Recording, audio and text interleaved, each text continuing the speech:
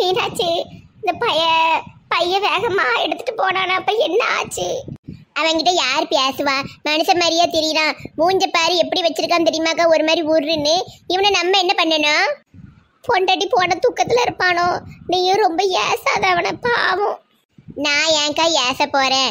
அவன் தான் ஒழுங்காவே இருக்கவே மாட்டுக்கானே. சரி அவனை பத்தி பேசுறத விட. ரேகாக்கு ஒரு வரன் வந்திருக்குக்கா. அப்படியா? எந்த ஊரு? மாப்பிள்ளை என்ன பண்ணுதாரு? நம்ம பக்கத்து ஊர் தான் மாப்பிள்ளை காலேஜ் முடிச்சுட்டு ஏதோ ஒரு கம்பெனியில் வேலை பார்த்துட்டு இருக்காராம். அதுக்கப்புறம் வந்து ம- நம்ம வந்து முதல்ல போட்டாவை வாங்கி பார்த்துக்கிடுவோம். அதுக்கப்புறம் நம்ம பிள்ளை போட்டாவையும் கொடுப்போம். அப்புறம் என்னன்னு பார்த்துக்கிடுவேங்க அழகு கூட முக்கியம் இல்லை மீனாட்சி. நல்ல மனுஷனாக இருந்தாலும் எனக்கு போதும். நீ அழகு முக்கியம் இல்லைன்னு சொல்லுவ. ரேகா என்ன எதிர்பார்க்கால தெரிலலாக்கா கொஞ்சமாவது ரெண்டு பேருக்கு ஜோடி பொறுத்த நல்லா இருக்கணும்ல. ஆமாம் ஆமாம் அவளுக்கு ஒரு கல்யாணத்தை பண்ணியாச்சுன்னா நான் கொஞ்சம் நிம்மதியாக இருப்பேன். அவரும் மோசமா தானே இருக்காரு உடம்பு சரியில்லாம. இல்ல எங்க போயிட்டு வர? துணிமணி எல்லாத்தையும் அவன் மோரையில தூக்கி போட்டு வந்துட்டு இருக்கேன் ஏம்ல உனக்கு இப்படி இப்படி கோபமா வருது? நல்ல பயலா தானே இருந்த. எப்பந்தான் இப்படி ஆனியோ கடவுளே? புதுசு அது ஃப்ரெண்ட்ஸ் கூட சேருதியால? ஆமா ஃப்ரெண்ட்ஸ் கூட சேர்ந்துக்கிட்டு திரியதான் எனக்கு நேரம் இருக்கு. வேலை வேலைன்னு செத்ததுக்கு அந்த பொம்பளை வேலையை விட்டு தூக்கிட்டா இங்க பொண்டாட்டி பொண்டாட்டின்னு அவளை உருக்கி உருகி லவ் பண்ணி கல்யாணம் பண்ண விட்டுட்டு ஓடிட்டா. நன்றி கெட்ட உலகம். ஏல வா மேலையும் தப்பு இருக்குல்ல நீ அதெல்லாம் புரிஞ்சுக்காம அடுத்தவங்க மேலேயே பழிய போடுத. பொறுமையா இருந்து பேசினா எல்லாமே சரியாயிரும். எதுக்கு இப்படி வீம்பு எடுத்துட்டு திரியிற? ஏதாவது பேசி பேசி மண்டைய குடையாதம்மா. நான் போய் தூங்க போறேன். ஆமா இனிமே வேலை இல்லல்ல. இனி நல்லா தூங்கவும் சிங்கவுமா இரி. வேற என்ன செய்ய உனக்கு? குத்தி காட்டுறியாமா வேலைக்கு போலன்னு? ஏல எதுக்கு எடுத்தாலும் சண்டைக்கு முறுக்கிட்டு நிக்காத. விளையாட்டுக்கு தானே சொன்னேன். நான் போய் கொஞ்ச நேரம் படுக்க தொந்தரவு பண்ணாத. கொஞ்ச நேரம் தூங்கவும். அப்பவாது கொஞ்சம் மனசு நல்லா இருக்கான்னு பார்ப்போம். ஆசாசியா வேலைக்கு போனேன். என்னுடைய முழு நேரத்தையும் அங்கேயே செலவு பண்ணேன். என் படித்த அறிவெல்லாம் வச்சு நல்ல வேலை பார்த்தேன். ஆனால் கொஞ்சம் கூட யோசிக்காமல் வேலையை விட்டு திக்கிட்டாவோ. திரிசா திரிசான்னு உருக்கி உருக்கி லவ் பண்ணேன். வேலை பார்த்து சம்பாதிக்கிறதெல்லாம் யாருக்கு? இவளுக்காக தானே. இவளுக்கு நிறைய சர்ப்ரைஸ் எல்லாம் வாங்கணும்னு தான் காசு சேர்த்து வச்சுக்கிட்டு இருந்தேன். அது புரியாமல் தீபாவளிக்கு ட்ரெஸ் எடுக்கலை அது இதுன்னு சொல்லிக்கிட்டு ஓடிட்டா. இவ தான் இவ புரிஞ்சுக்கிட்டது போல. எதை கண்டு கலங்கக்கூடாது. இப்படியே முறுக்கிட்டு இருந்தால் தான் நமக்கு மதிப்பு. இல்லைன்னா நம்மள கோமாளி பையன் சொல்லிடுவாவோ போட்டு போட்டோம் என்ன நடக்குன்னு பார்ப்போமே அவளா வர்ற வரைக்கும் நான் இனி அவளை கூப்பிடவே மாட்டேன்ப்பா. என் வேலையை கெடுத்த மட்டும் அவளை சும்மாவும் விடறதுக்கு மனசும் வர மாட்டுக்கு சி ரெண்டக்கா ரெண்டக்கா ரெண்டக்கா ரெண்டக்கா. எங்க போகுது? எங்க போகுது வண்டி? ஏன் நில்லு? ஏன் நில்லு?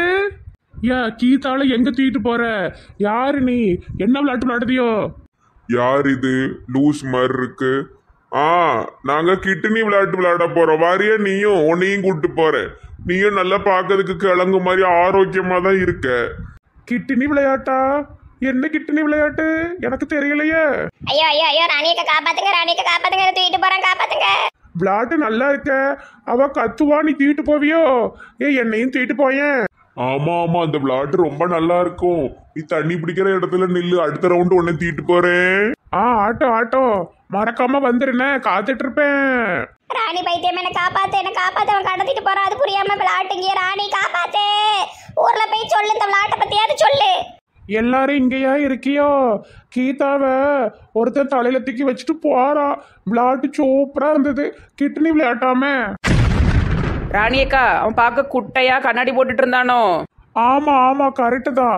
கீதால தலையில தூக்கி வச்சுட்டு ஓடனா கிட்னி விளையாட்டுன்னா நல்லா இருந்தது. என்னைய பைப் தண்ணி பிடிக்கிற பைப் கிட்ட வர சொல்லியிருக்கான் நானும் விளையாட போறேன். அட கடவுளே கீதால தூக்கிட்டான் போலயே. வீர வசனம்லாம் பேசிட்டு இருந்தால அட பாவமே. நல்ல வேலை நான் பிழைத்து கொண்டேன்.